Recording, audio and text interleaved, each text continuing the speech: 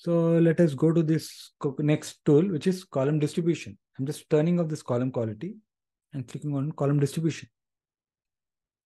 So column distribution will, again, it has taken some time because it is scanning each and every column and giving you the uh, number of distinct values, some number of unique values.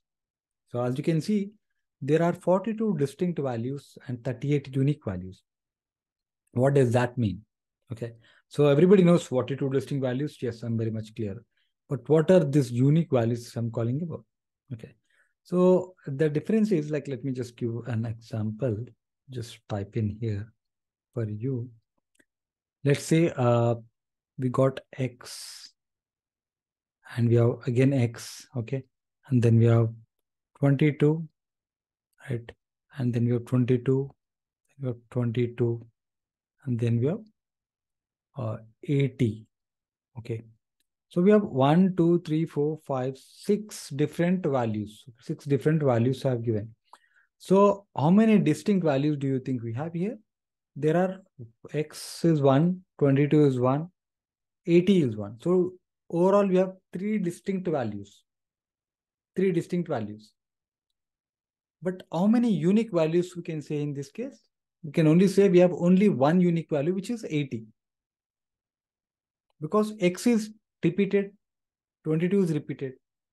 Hence, I would say I have only one unique value and three distinct values in this case. Okay. So similarly, the data is showing up you like this. Let me just remove this painter. Okay. So similarly, you are able to see that. So now you can see and observe the data. So you'll get more idea like client IP and other things. Okay, we've not defined. So there's one step we are missing. So if you observe closely, it is not able to count or do anything by because the data type ABC123. Okay. So this is the very first step, right? So the data types were not properly defined. By now, we should be able to use a shortcut, right? So you can see all of them, you can, you can scan through, all of them were not identified by default. So how do you do? You have to go one by one? No.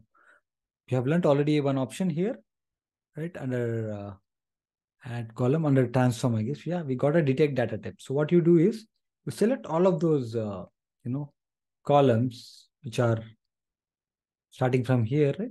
ID. So I select all of those columns. I click on con control shift and go to the very last option. I'm selected again this column. So it has selected all the columns from that particular column. Now click quickly select this detect data type, automatically detect the data type of the currently selected columns.